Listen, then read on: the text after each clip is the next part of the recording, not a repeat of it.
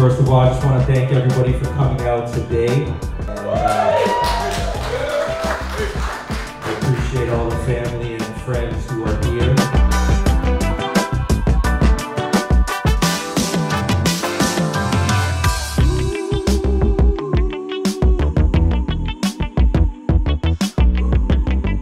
I just want to, from the bottom of my heart, thank each and every person that's come out today. You guys, you have no idea.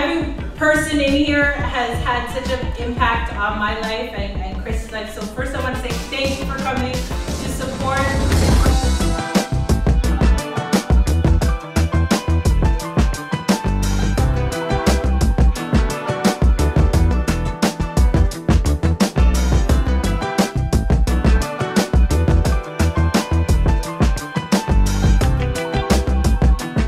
Some of you know I am in nursing, I'm a nursing professor, but I've recently decided to transition into something a little bit different. And I wanted to introduce um, Jus Like That. I'm really nervous about this, but I'm putting myself out there and I'm trusting God that it's in His hands. He's gonna do what He wants